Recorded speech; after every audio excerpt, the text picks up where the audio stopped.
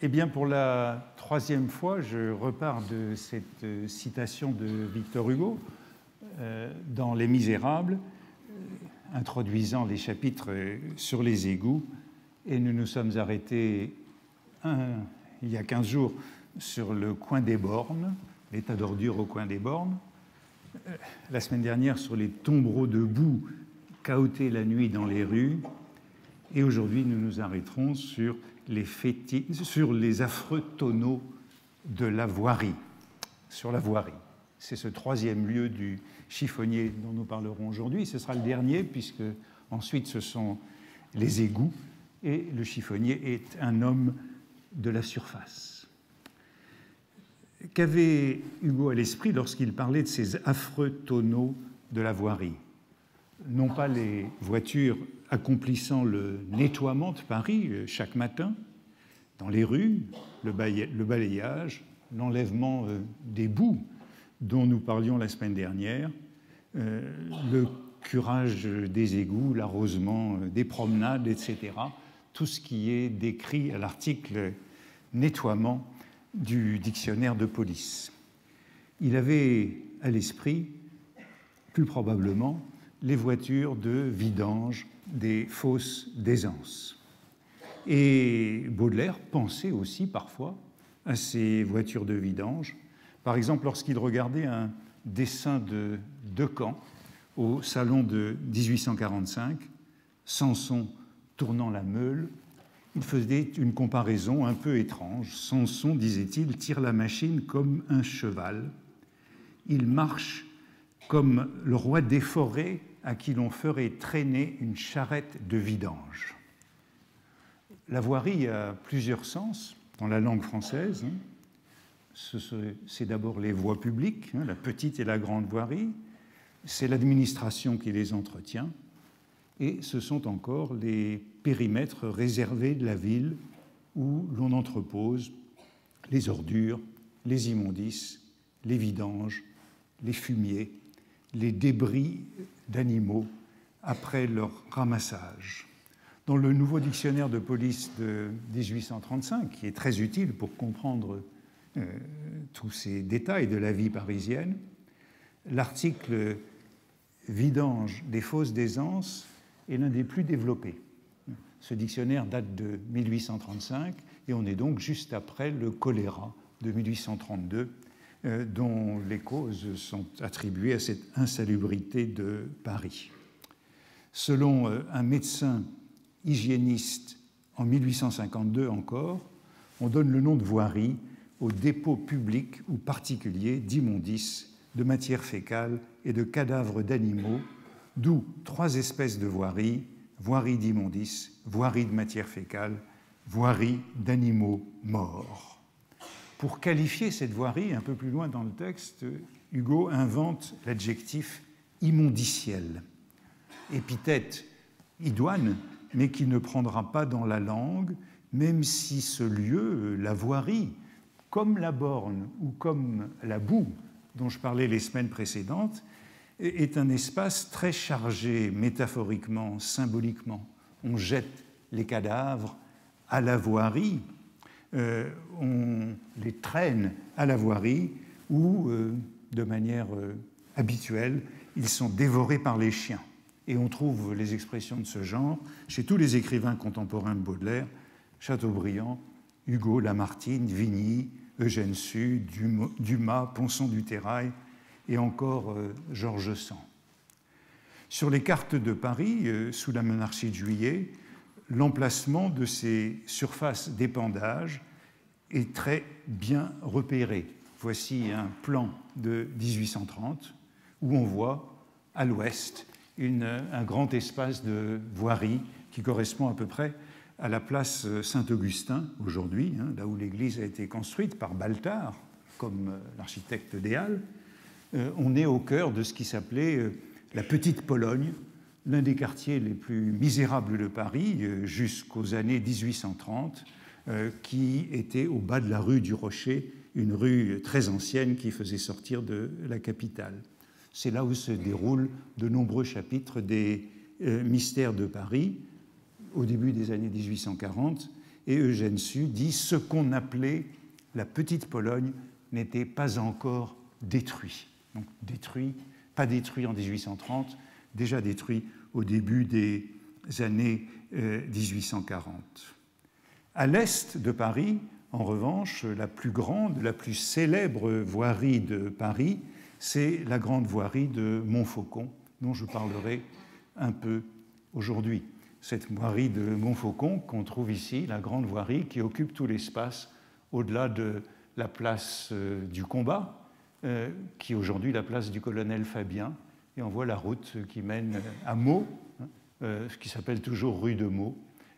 ici, c'est le boulevard Jean Jaurès aujourd'hui. Donc tout cet espace, ici, au pied des buttes de Chaumont, est occupé par la grande voirie excrémentielle de Paris qu'on trouve sur tous les plans contemporains. la voici avec plus de détails où on voit tous les euh, bassins pour traiter les matières. Euh, et voici la description euh, contemporaine dans un traité d'hygiénie de 1852. L'ancienne voirie de Montfaucon, jusqu'à 1850, réunissait à des bassins énormes ayant 32 800 mètres de superficie et à 12 arpents de terrain destinés à recevoir toutes les matières fécales fournies par la vidange de Paris et se levant de 230 à 244 mètres cubes par jour, des clos d'écarissage recevant par an environ 12 000 chevaux et 25 à 30 000 petits animaux tels que chiens, chats, etc. Vous comprendrez aisément les émanations qui devaient s'élever d'un pareil cloaque et qui, malgré la position élevée de la voirie, 36 mètres au-dessus des eaux de la Seine, s'étendait souvent, cette odeur, à 2000, 4000 et même 8000 mètres. Et juste à côté de cette voirie, il y avait ici ces clos d'écarissage. C'est donc là où on mettait à mort, on écorchait tous les animaux de euh, la capitale. Dans le Cygne, le poème de Baudelaire, c'est au passage euh, matinal des voitures de l'entreprise de vidange que Baudelaire fait allusion sous le nom de voirie. Là, je vis un matin, à l'heure où sous les cieux froids et clairs le travail s'éveille, où la voirie pousse un sombre ouragan dans l'air silencieux, un signe qui s'était évadé de sa cage.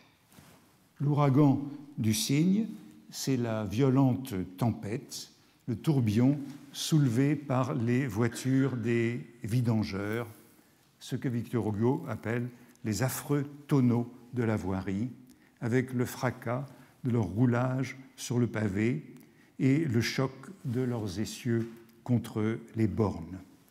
Nul autre emploi de voirie, vocable certes peu poétique euh, chez Baudelaire, alors que chez Hugo c'est un mot euh, très courant. L'ami de Baudelaire, Privat d'Anglemont, était beaucoup plus détaillé dans toutes ses descriptions de Paris, et je m'arrêterai un instant sur l'une d'entre elles parce qu'elle nous concerne de très près. C'est celle dans un de ses livres, Paris Anecdote, très détaillé de ce qu'il appelle et de ce qu'on appelait le cloître ou l'enclos Saint-Jean de Latran, un cloaque, un immondice en plein Paris. Je ne sais plus si je l'ai déjà mentionné, mais il était situé juste en face du Collège de France, ici même, l'endroit qui est réputé être le plus infect de Paris intramuros, à l'emplacement exact de la place Marcelin Berthelot, hein, à présent euh, Square Michel Foucault. Hein, je regardais hier, euh, je voyais hier en passant de jeunes gens se photographier devant la, plaque Michel Foucault, et je me disais ce qu'était euh, l'endroit il y a 150 ans. Hein. Euh, ce cloître de Latran, le voici, vous le voyez ici, ici le Collège de France, hein, la rue du Collège de France, c'est un énorme quadrilatère qui occupe entre la rue Saint-Jacques et la rue Jean de Beauvais, et en gros jusqu'à ce qui est aujourd'hui le boulevard Saint-Germain, puisque vous avez là le marché des Carmes et là la place Maubert. Donc c'est un énorme quadrilatère, c'est une forteresse avec des tours que cet endroit, et c'est le repère, nous dit Privat d'Anglemont, de la bohème vagabonde, de musiciens ambulants, de chanteurs de rue, d'avaleurs de sabre, de danseurs d'œufs, d'équilibristes, d'arracheurs de dents et de mâcheurs de feu, de marchands de verre cassé, de marchands de peau de lapin, de ramoneurs, d'ouvriers poètes, d'habilleuses de poupées, de fabricants de boîtes d'allumettes, de laveurs de chiffons. C'est la cour des miracles euh, du Paris moderne qui occupe les euh, bâtiments délabrés de ce qui était la commanderie des hospitaliers de Saint-Jean de Jérusalem. On voit bien cette forteresse ici sur le plan de Turgot. Hein, c'est tout cet ensemble en face du Collège de France. Hein. C'est un ensemble qui date du XIIe euh, et du XIIIe euh, siècle et qui, jusqu'à la Révolution, disposait de droit de franchise et d'asile échappé à la loi du royaume, puisque cela dépendait d'un ordre qui datait des croisades, qui était à l'origine de l'ordre de Malte. Euh, voici encore sur un plan, vous voyez, tout ce quadrilatère énorme devant le petit euh, collège de France. Et on trouve de, belles images, ça c'était sous l'Ancien Régime, avant la ruine, euh, ça c'est au XIXe siècle, ce qu'il reste de cette tour qui était juste en face du Collège de France, dans différentes représentations. Quand on voit ces images du Collège de France sous l'Empire 1810, on comprend qu'elles sont un peu fausses, puisque juste en face, c'est évidemment beaucoup plus étroit, et juste en face, il y avait euh, cette immondice qui occupait tout cet endroit. Hein. ici aussi, c'est une image tout à fait factice, puisque cette vue est impossible. Et je crois que je vous avais montré ceci au moment de la destruction en 1854 de tout cet ensemble vu de la cour du collège. Et après la destruction, 1854, hein, tout ça est détruit en 1854, il ne reste plus que euh, l'église. On est donc dans un endroit, euh, l'un des plus euh, immondes de Paris, et Privat d'Anglemont citait un rapport de 1851 d'un professeur au Muséum d'histoire naturelle sur cet arrondissement qui était alors le 12e, le plus pauvre et le plus insalubre de la ville, le plus touché par les épidémies de choléra de 1832, de 1849, et celui où la mortalité était la plus élevée. On se souvient de Baudelaire dans La fanfarlot disant la mortalité s'abattait joyeusement sur les hôpitaux, justement auprès d'une allusion au poète nécessiteux de ce quartier de la rue Saint-Jacques, dit-il. C'est une image qui est reprise dans le premier spleen où l'hiver, de son urne à grands flots, verse un froid ténébreux et la mortalité sur les faubourgs brumeux les faubourgs brumeux, c'est le faubourg Saint-Jacques, c'est-à-dire juste ici. On est à mi-chemin de la place Maubert et de la rue Mouffetard, non loin des rives de la Bièvre, à l'endroit qui est le foyer de la misère parisienne jusqu'à euh, la fin des années 1850. Et voici la description de ce professeur du muséum en 1851 de ce quartier que Baudelaire connaît bien et de ce clos Saint-Jean-de-Latran. Depuis quelques années, les fabricants de papier n'achètent le chiffon que lorsqu'il a subi un premier nettoyage.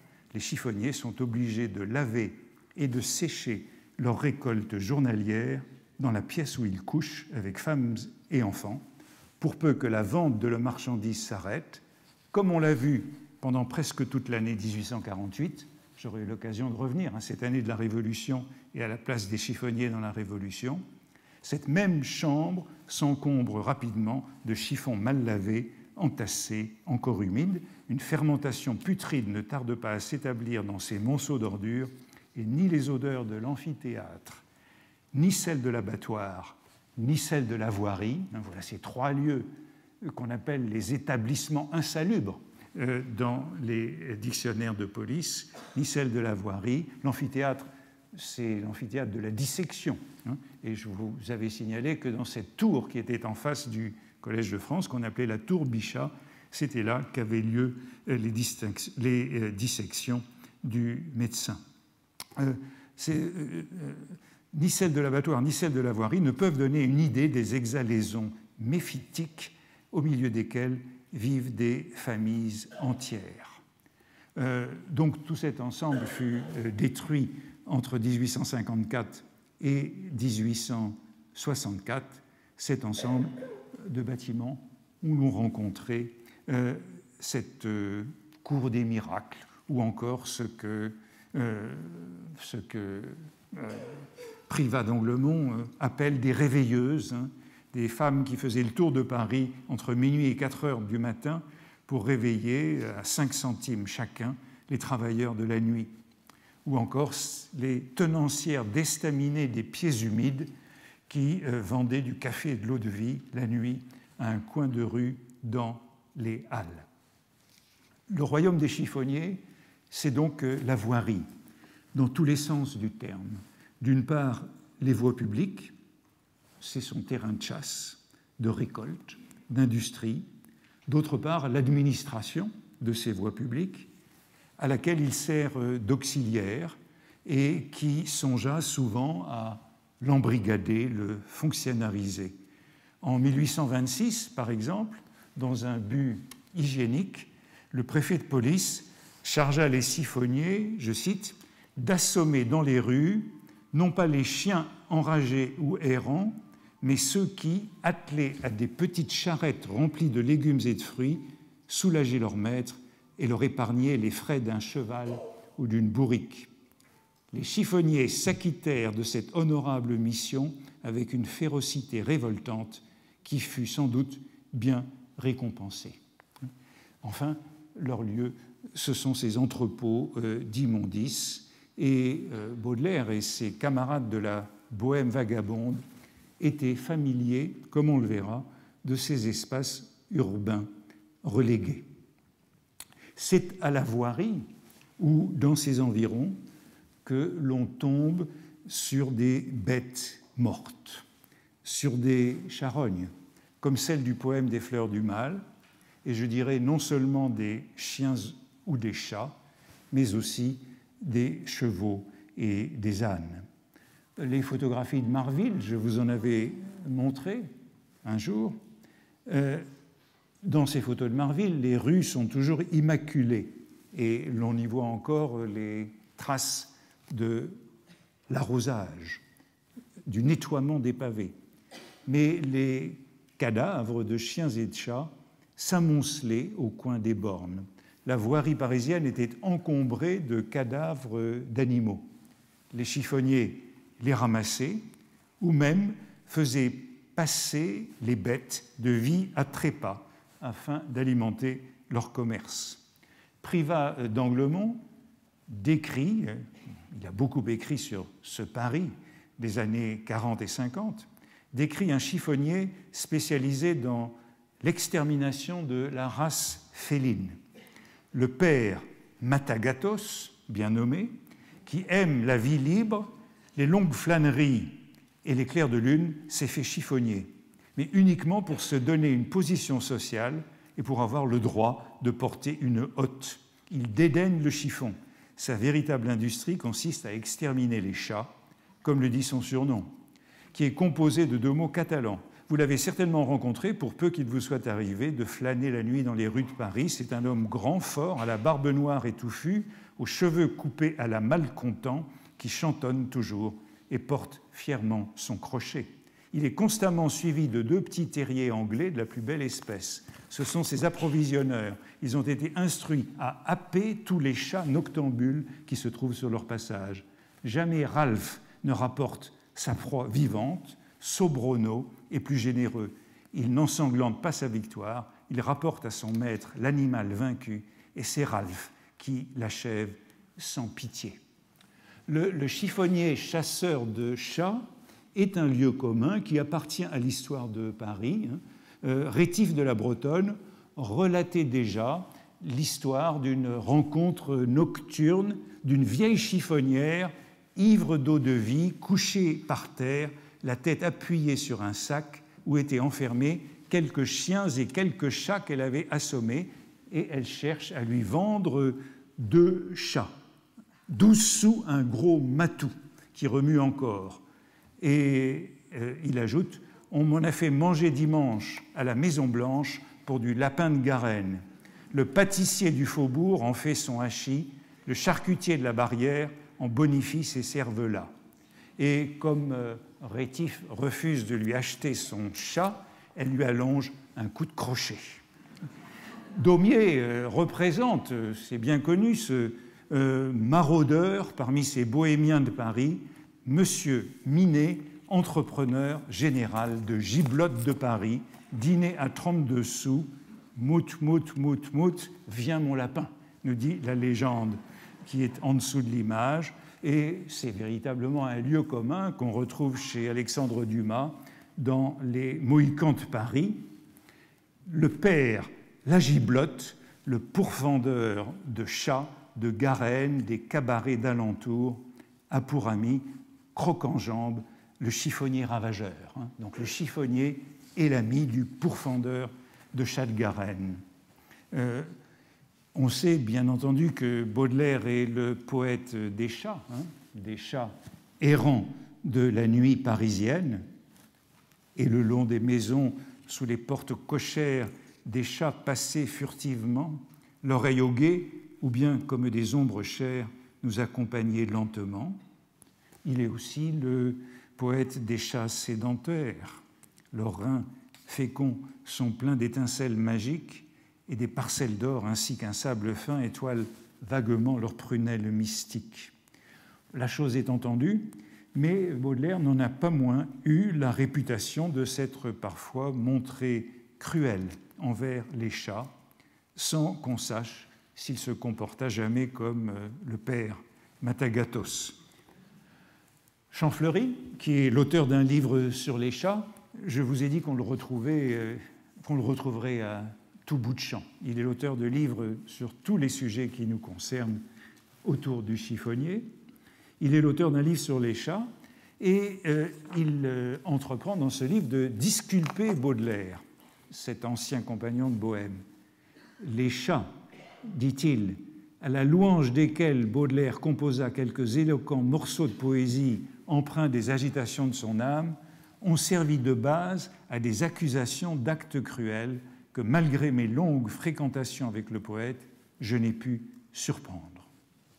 Pensant euh, au chat de Baudelaire, comment ignorer euh, la place éminente occupée par la race féline dans les circuits marchands de la chiffonnerie contemporaine. Comme pour tous les rebuts urbains, l'intégralité des matières fournies par ces animaux était recyclée.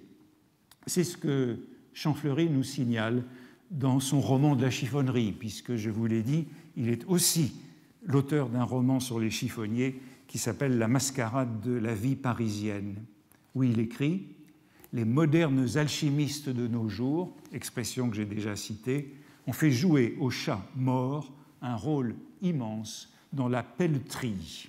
Tout chat mort, maigre ou gras, qu'il ait fréquenté les gouttières en y dépensant la majeure partie de ses forces, ou qu'il ait amassé une lourde graisse sous le lit de plumes d'une vieille fille, rend d'immenses services à l'industrie. Privat euh, d'Anglemont insistait lui aussi sur le chat, qui est un peu le condensé de toute cette euh, économie du réemploi euh, contemporaine et qui est une sorte de microcosme du monde moderne. Le chat a cela de particulier, dit le père Matagatos, que tout est bon, que tout en est bon. La peau se vend aux fourreurs, qui en font de la martre zibeline, fourrure très à la mode en ce temps de manchonomanie, où depuis la grande dame jusqu'à la grisette, tout le monde veut avoir un manchon. Il n'a de concurrence sérieuse sur l'article fourrure que le lapin blanc, qui depuis quelques années a été baptisé du nom d'hermine. Quant à la chair, j'en ai le placement, je connais les bons endroits, mais il faut des précautions. Les vaudevillistes ont rendu le peuple des barrières excessivement méfiant à l'endroit de la giblotte. Il en est arrivé à ce point de scepticisme qu'il lui faut toujours voir les têtes pour en prendre sa portion de six sous.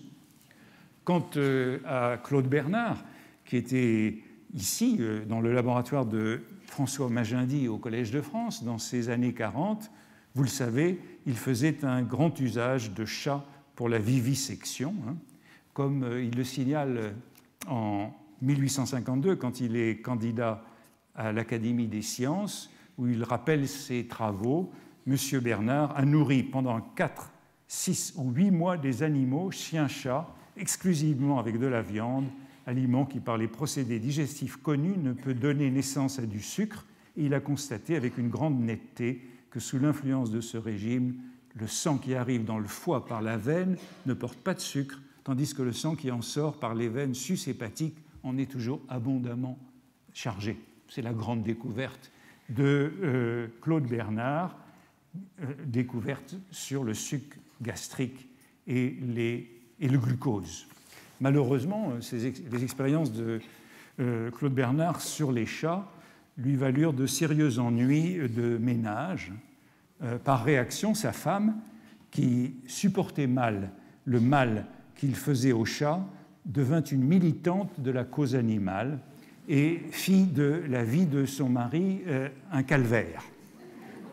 Après 25 ans de mariage, elle le quitta, emmenant leurs deux filles, et c'est une cause célèbre qui est souvent rappelée, par exemple par une certaine Marie Huot, l'une des premières euh, féministes et anti-vivisectionniste militante dans la revue socialiste en 1887. Et voici ce qu'elle écrit, je passe tout de suite à la deuxième citation. Tout le monde ne connaît-il pas l'histoire émouvante de ces deux filles d'un illustre physiologiste français, en note Mademoiselle Claude Bernard, auxquelles la gloire de leur père n'a pu faire oublier les victimes martyrisées par lui sur l'autel de la science. Sans rien vouloir garder de l'auréole paternelle, elles se sont condamnées à l'humble mission de recueillir et de soigner tous les animaux en détresse que l'insouciance parisienne jette à la rue. Saintes et sublimes filles que leur mère elle-même aide dans leur besogne rédemptrice.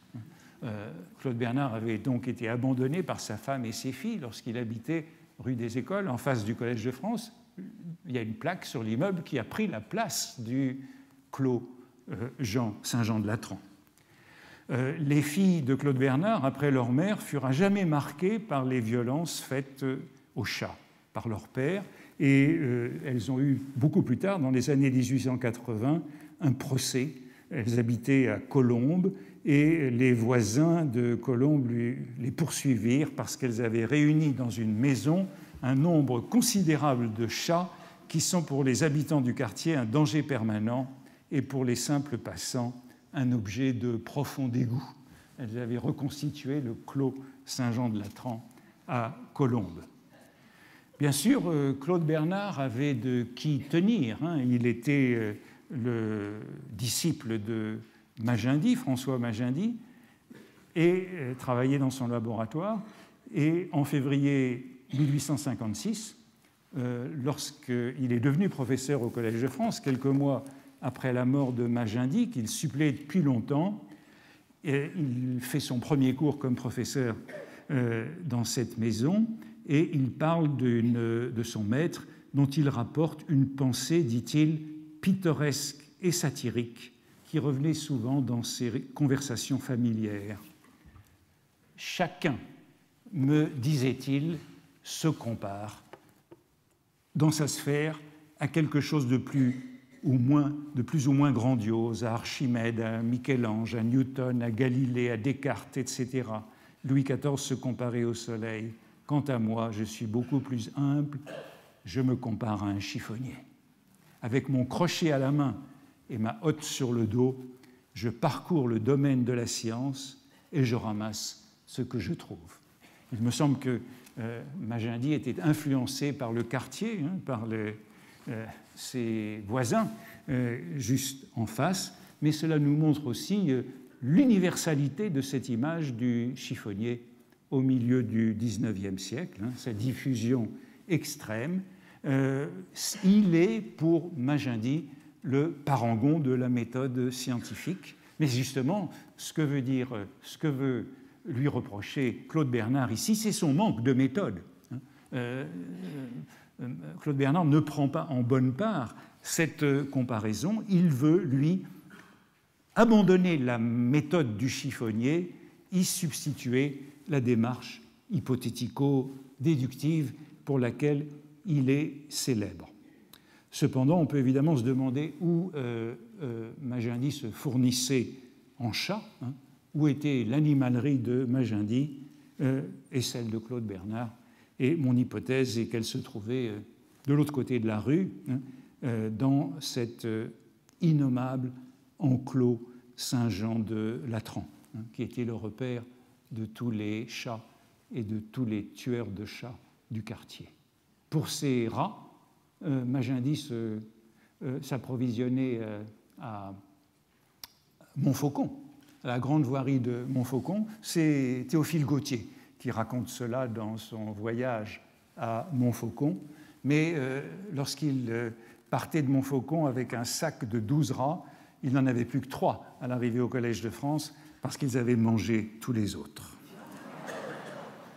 Euh, vous voyez que cette euh, industrie du chat et du chien était en tout cas un spectacle parisien euh, très ordinaire à l'âge de Baudelaire. Un chat ou un chien en décomposition au coin d'une borne n'avait pas de quoi trop choquer, et c'est pourquoi j'y insiste, une jeune femme comme celle qui accompagne le poète dans Les fleurs du mal. Hein.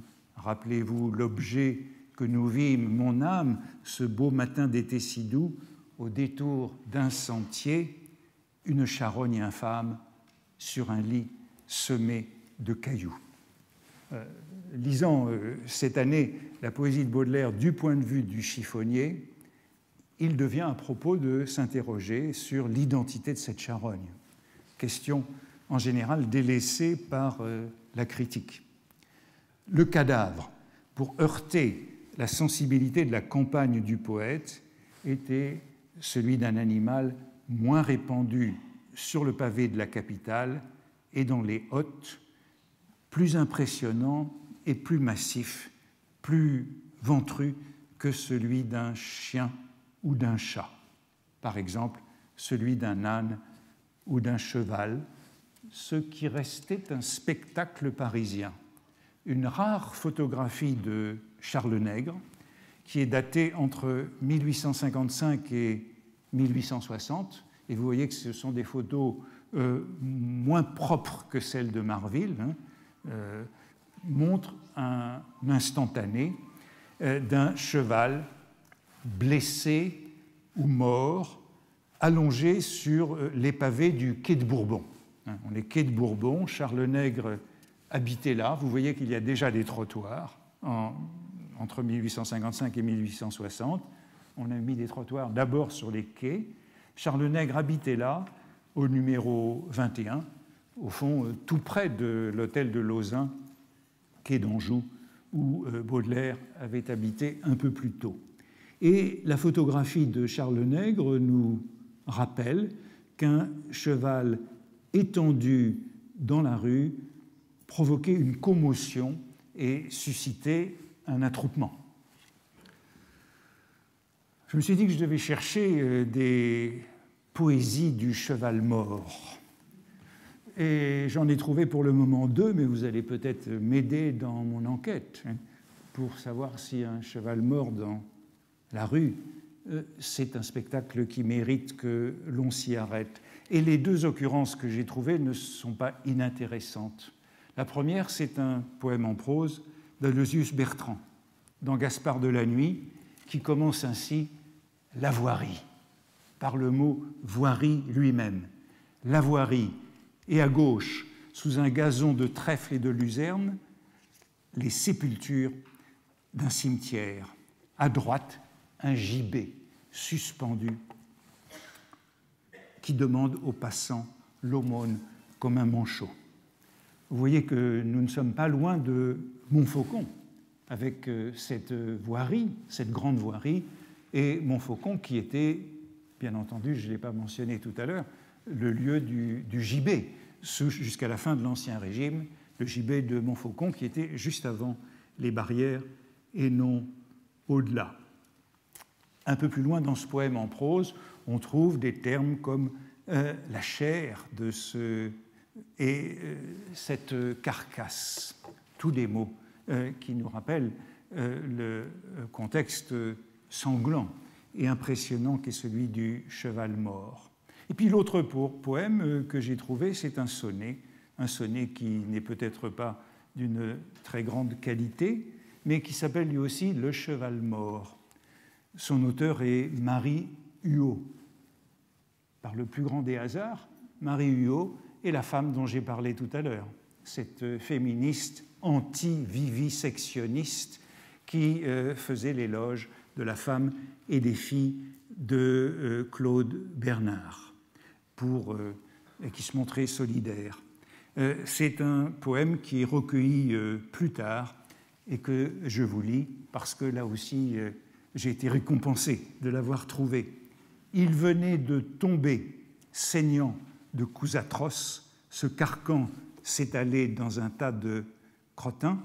Ross, il était crevé comme crèvent les rosses devant son cocher sous qui jura crématin. Les voyous s'arrêtaient et se faisaient des bosses de rire avec ce corps. Une dame en satin se mit à rire aussi de leur lazzi féroce. Vint une vieille qui, voyant ça, dit Catin, fais donc la mijaurée avec tes gants de perles, si ça ne fait pas suer cette grue et ce merle qui jettent leur mépris à ce pauvre cheval. Et la vieille, sa hotte et son croc sur l'échine. C'est une chiffonnière. Soulevant doucement le front de l'animal, t'es maigre, pauvre ami, ce que c'est que la débine. On a donc une scène de rue, une chose vue, qui là aussi peut nous faire euh, songer à une caricature de Daumier que j'avais commentée il y a quelques années, hein, le, philanthrope, euh, euh, le philanthrope du jour, hein, philanthrope anglais dans l'exercice de son sacerdoce. Comme membre de la Société protectrice des animaux, il défend qu'on n'injurie aucun quadrupède et ne se fait pas scrupule de casser les reins d'un simple bipède. Hein. Euh, ça fait penser à cela, mais ce que je retiens surtout, c'est que seule une chiffonnière de passage dans la rue peut être saisie de compassion par le spectacle de la souffrance animale, peut éprouver de la pitié pour la bête blessée, peut-être s'identifier à elle euh, comme Baudelaire reconnaissait son destin dans celui du cygne échappé de sa cage sur la place du Carrousel, ou encore dans le sort des pauvres chiens, dans le poème en prose euh, Les bons chiens, les chiens crottés, les chiens pestiférés et pouilleux. Je chante le chien crotté, disait-il, le chien sans domicile, le chien flâneur, le chien saltimbanque. Hein, toutes ces épithètes du chiffonnier, comme celui du pauvre, du bohémien et de l'histrion, et merveilleusement aiguillonné par les nécessités, si cette, cette si bonne mère, cette vraie patronne des intelligences. Je chante les chiens calamiteux, soit ceux qui errent solitaires dans les ravines sinueuses des immenses villes, soit ceux qui ont dit à l'homme abandonné avec des yeux clignotants et spirituels, prends-moi avec toi, et de nos deux misères, nous ferons peut-être une espèce de bonheur. Euh, le chiffonnier est présent de manière euh, souterraine dans ce poème, et souvenez-vous que le chiffonnier est toujours accompagné d'un chien, malgré l'ordonnance de police que je citais il y a quelques semaines et qui le leur interdit. Dans le poème de la Charogne, Baudelaire mentionne toutefois un sentier, des cailloux, un peu plus loin des rochers. Derrière les rochers, il y a une chienne qui attend de se jeter sur la charogne, comme si la scène avait lieu hors de Paris, au-delà des barrières, là où les bêtes s'effondraient en chemin vers le clos d'écarissage où on les menait à la mort. Cela dit, Paris renfermait encore des coins de campagne et des sentiers caillouteux dont les photographies de Marville gardent le souvenir. Par exemple, celle-ci, on est en plein Paris, on est à côté du marché aux chevaux. Je vous ai montré il y a quelques semaines cette impasse du marché aux chevaux, juste à côté d'ici, où il y avait des bornes. Eh bien voilà le, le, paysage autour du marché aux chevaux, donc vers la rue Geoffroy Saint-Hilaire. Euh, le, grand médecin euh, Alexandre Parent du Châtelet, hein, euh, dans son monumental traité d'hygiène de 1836, emploie le terme de charogne exclusivement pour désigner le cadavre de cheval, dont il s'occupe au chapitre des porcs engraissés avec de la chair de cheval. Euh, vous voyez que du temps de la vache folle, on n'avait pas inventé grand-chose. Il décrit par ailleurs les chantiers d'écarissage comme le comble de la puanteur parisienne, surtout euh, durant l'été, euh, la saison du poème de Baudelaire. Voici ces clos d'écarissage dans le livre de, euh, Parent du Châtelet sur l'écarissage à Paris. vous voyez les, les, les de Chaumont, dans le fond, et différentes opérations de l'écarissage des chevaux. Quelque forte et pénétrante que soit l'odeur des matières fécales qui sortent des bassins, juste en dessous, hein, de la voirie de Montfaucon, elle pourrait paraître peu désagréable si on la comparait à celle des clos d'écarissage, en différentes circonstances de l'année, et particulièrement dans les grandes chaleurs de l'été.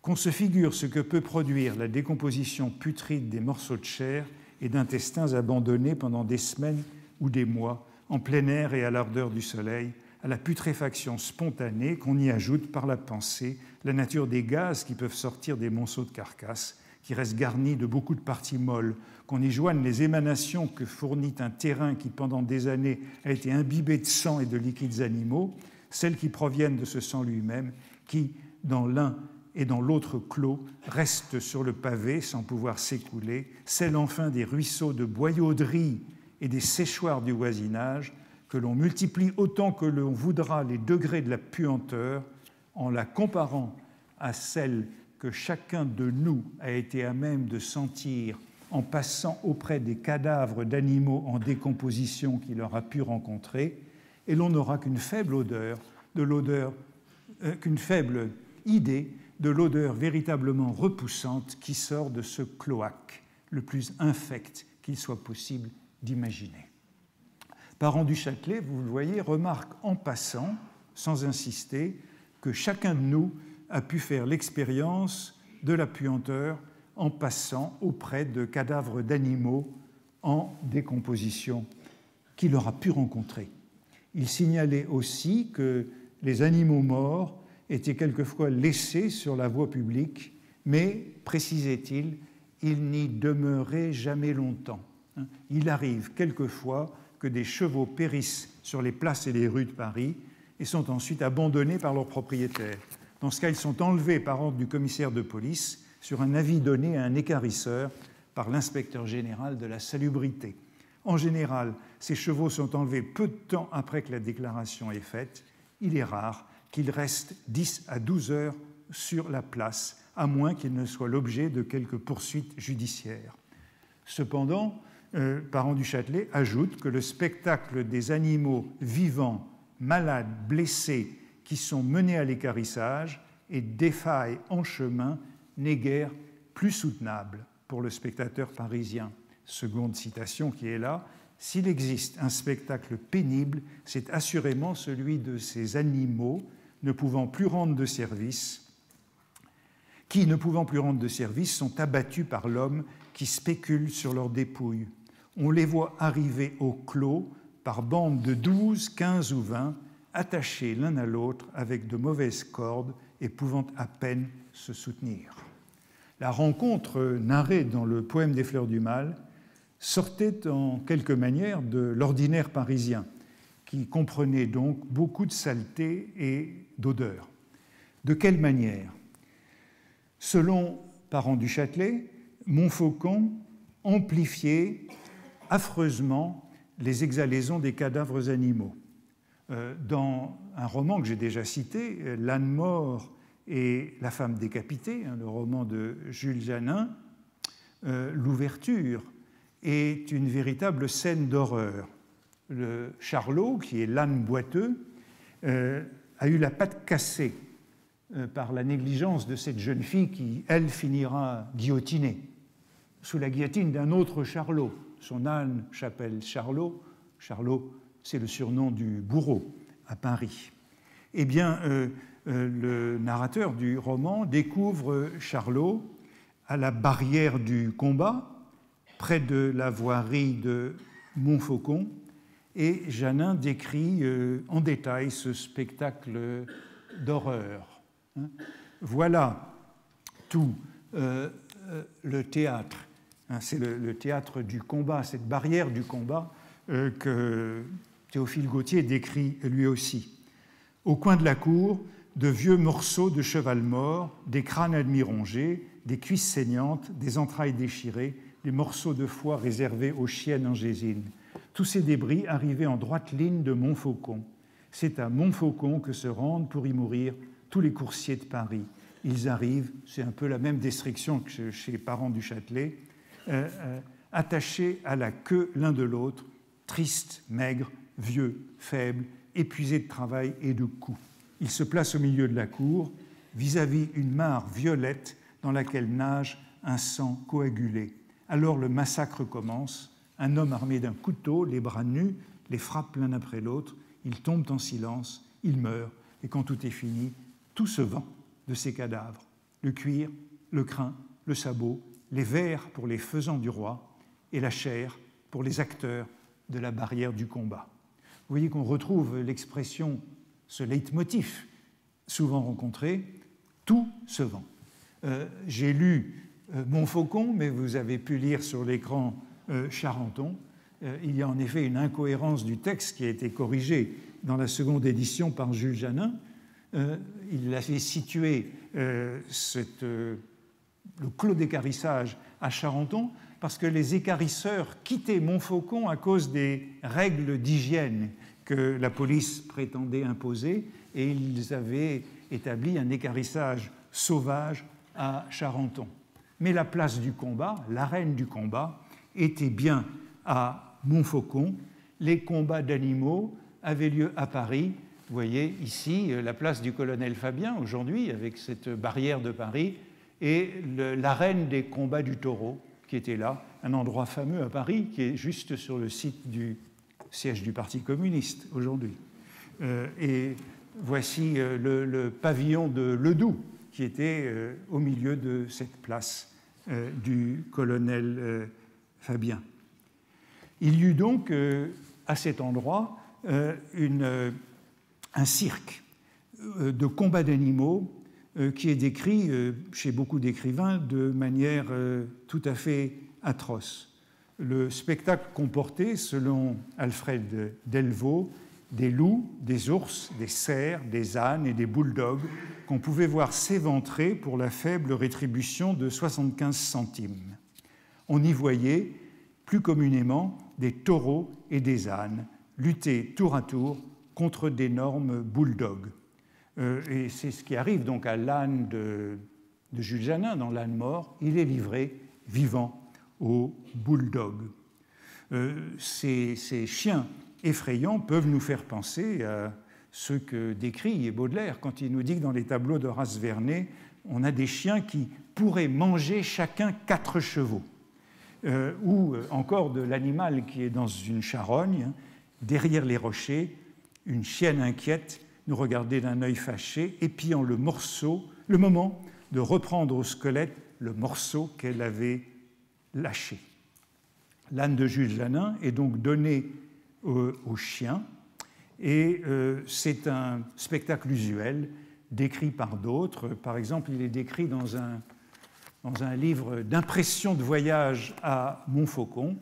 On jette au milieu de la mêlée un pauvre âne qui, heurté, bousculé de toutes parts, provoquait, mordu, efforcé, bon gré mal gré, de prendre part à l'action et se distingue quelquefois par beaucoup, par beaucoup d'adresse. Voilà ce texte, euh, texte de 1840, et de terribles ruades. C'est le bouffon de la comédie, celui de toutes ces bêtes qui a le privilège d'exciter les rires éclatants de la brutale assemblée. On, rit le plus quand on livre un âne au bulldog. Ces rires de la foule ne sont pas sans rappeler ceux du poème en prose, un plaisant ou un âne harcelé par un malotru armé d'un fouet est l'objet de la dérision d'un beau monsieur ganté, verni, qui lui souhaite euh, la bonne année. C'est dans la nuit du 31 décembre, et cela suscite la rage du poète contre la foule et une sympathie pour l'âne, qui au fond est un peu pareille euh, à celle de Marie Huot pour le cheval maltraité par son cocher. Euh, Théophile Gautier, qui connaît bien Montfaucon, euh, fait un récit euh, dans un dîner manie en 1863, un récit qu'Edmond de Goncourt rapporte. et Théophile Gautier explique par les visites à Montfaucon qu'il soit devenu insensible. Et il explique ainsi l'insensibilité qu'il veut montrer dans ses romans. Il y a une chose, dit-il, propos rapporté par euh, Goncourt, il y a une chose euh, qui m'a servi de leçon. À Montfaucon, on me montra un jour des chiens. Il fallait passer bien au milieu du chemin et bien tenir les pans de sa redingote. C'étaient des chiens très vigilants, des chiens élevés pour la garde, pour les châteaux, pour les fermes. Quand on leur mettait un âne dans le chemin et qu'on les lâchait, en cinq minutes, l'âne était nettoyé, propre, une carcasse. Avant euh, les mystères de Paris, le supplice de l'âne livré vivant aux chiens dans L'âne mort reste, me semble-t-il, l'une des scènes les plus affreuses de la littérature française. Et vous savez qu'elle marqua Baudelaire, hein, puisqu'il s'en souviendra jusqu'en 1865, euh, lorsqu'il s'en prend à Janin, qui est revenu au bon sentiment bourgeois, qui s'est converti en berger et euh, Baudelaire dit à ce propos Jules Janin ne veut plus d'images chagrinantes. Et la mort de Charlot. Comme euh, parent du Châtelet, c'est sur la puanteur que Baudelaire insiste dans une charogne. Le soleil rayonnait sur cette pourriture comme afin de la cuire à point et de rendre au centuple à la grande nature tout ce qu'ensemble elle avait joint et le ciel regardait la carcasse superbe comme une fleur s'épanouir, la puanteur était si forte que sur l'herbe vous crûtes vous évanouir. Parent du Châtelet consacre tout un chapitre de son traité d'hygiène aux asticots qui sont élevés sur les charognes des chevaux par les ouvriers de l'écarissage afin d'arrondir leurs ressources. Tout le monde, dit-il, connaît ces larves désignées sous le nom de vers blanc ou d'asticots. La citation est un peu longue, mais euh, euh, Parent du Châtelet nous raconte comment s'y prennent les ouvriers pour favoriser la production de ces larves dans les cadavres des chevaux. Ils étalent par terre, sur une étendue indéterminée, les débris déposés dans le clos, particulièrement les intestins qui attirent les mouches. Et au dernier paragraphe, après quelques jours, on ne retrouve plus à la place des matières animales qu'on avait déposées qu'une masse mouvante composée de myriades de larves et de quelques détritus qui ressemblent à du terreau. On sépare avec la main le plus gros de ces détritus, on réunit les vers, on les remue à la pelle et on les vend à la mesure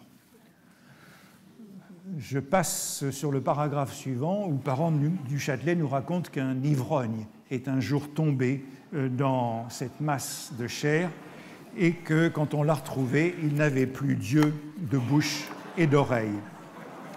La description de euh, Baudelaire est sans doute moins répugnante, mais je crois qu'elle est conforme et l'on y retrouve ces mouches et ces larves qui se nourrissent de la putréfaction des chairs animales.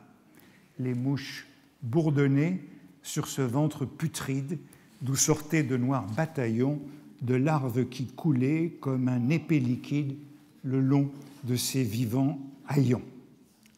Ce qui pose une question, Baudelaire se rendit-il jamais à Montfaucon et au clos d'écarissage? J'attends euh, la prochaine biographie qui nous le dira peut-être.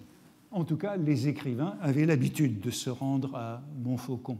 J'ai cité euh, Théophile Gautier, qui a écrit ses voyages hors barrière en 1838, consacrés euh, à la Grande Voirie, au clos d'écarissage et au combat euh, des animaux. Mais voici Flaubert, qui, dans une lettre de Jérusalem en 1850, écrit à Louis Bouillet. Et il vient d'assister au spectacle d'un d'une boucherie, d'un abattoir en pleine rue de Jérusalem. Un trou, et dans ce trou du sang, des boyaux, de l'urine, un arsenal de thon chaud à l'usage des coloristes. Tout alentour, ça pue à crever. Puis il ajoute ce détail relatif à son compagnon de voyage. Le jeune du camp a fait comme à Montfaucon. Il a pensé se trouver mal comme euh, la jeune femme de Baudelaire, vous crûtes vous évanouir. Hein. Euh, cette notation semble bien renvoyer à une visite en commun à la voirie. Lorsque euh, parut le recueil des fleurs du mal, Montfaucon venait de fermer. Hein, depuis quelques années, donc entre 1849 et 1850, hein, à la fois euh, le clos d'écarissage, la grande voirie et enfin euh, le cirque de la place du combat. Tout cela avait disparu autour de 1850. Mais les lecteurs d'une charonne ne se trompèrent point sur la nature de l'animal mort, et pourtant vous serez semblable à cette ordure, à cette horrible infection, Étoile de mes yeux, soleil de ma nature, vous, mon ange et ma passion. Par exemple, quelques années plus tard encore, en 1864, 1864, c'est l'année même où les travaux commencent à Montfaucon pour euh, transformer le site dans le parc des Buttes-Chaumont. Eh bien, en cette année-là, un article est publié sur les fleurs du mal et sur Baudelaire, un article qui est bien connu, c'est celui d'Alcide du Solier, mémorable parce qu'il porte euh, dans son titre Baudelaire, boileau hystérique. Et dans l'article, euh, l'auteur livre cette comparaison euh, pour les derniers vers du poème où il reconnaît le clos de Montfaucon et la routine de l'écarissage. Celle, la pauvre demoiselle, il la déshabille même de sa peau. Euh, celle à qui M. Baudelaire murmure entre deux baisers ces galantes strophes, vraiment dignes d'un écarisseur charmerait Montfaucon par des madrigaux exquis, à du moins la beauté. Vers digne donc d'un écarisseur de Montfaucon. Dans euh, la Charonne, suivant l'horizon d'attente des contemporains, euh, c'était bien, non pas un petit chien ou un petit chat qui était jeté au coin d'une borne, spectacle quotidien de ce temps-là, mais quelque chose comme le cadavre d'un cheval ou d'un âne sur le chemin de la grande voirie de Paris. L'animal n'était pas parvenu jusqu'au clos d'écarissage, il y sera conduit comme on le raconte, sur une charrette, où sera jeté à la voirie sans que le crin, la peau, le sang, la chair, les issues, les tendons, la graisse, les fers et les cornes, les os aient été récupérés. Vous voyez que nous avons parlé du coin des bornes, puis des tombereaux de boue, avec la grande voirie de Montfaucon, ses clos d'écarissage et sa barrière de combat, nous avons atteint le dernier cercle de la chiffonnerie. Et ce dernier cercle de la chiffonnerie sert également de métaphore à Victor Hugo dans Les Châtiments. Vous vous souvenez qu'il nous disait la semaine dernière ou la semaine d'avant que le cadavre de Dupin aîné au coin d'une borne n'était même pas digne du croc du chiffonnier. On a la même métaphore euh, dans les châtiments à propos de l'écarissage. Oui, euh, gardez sur vos mains, gardez sur vos épées, hélas, gardez sur vos drapeaux ces souillures qui font horreur à vos familles et qui font sourire Dracon, et que ne voudrait point avoir sur ces guenilles l'écarisseur de Montfaucon. Gardez le deuil, gardez le sang, gardez la boue. Comme Dupin n'était pas digne du croc du chiffonnier, les auxiliaires du coup d'État sont indignes de l'écarisseur de Montfaucon. Entre l'écarisseur et le chiffonnier, les rapports sont donc euh, intimes. L'écarisseur est un cousin du chiffonnier. Et souvenons-nous que dans les mystères de Paris, le chourineur, dont j'ai parlé il y a 15 jours de sa présentation au début du livre, le chourineur qui est né au coin d'une borne et qui compte retourner, mourir à la borne, eh bien, entre-temps, qu'a-t-il fait? Il a été euh, écarisseur. Voici, euh, dans l'illustration de première édition des Mystères de Paris, une autre vision du clos d'écarissage de Montfaucon, le chourineur en écarisseur, et euh, ce qu'il en dit dans son récit à Rodolphe. J'ai comme un brouillard de souvenirs d'avoir guépé, vagabondé dans mon enfance avec un vieux chiffonnier qui m'assommait à coups de crocs. Faut que ça soit vrai, car je n'ai jamais pu rencontrer un de ces cupidons à carquois d'osier.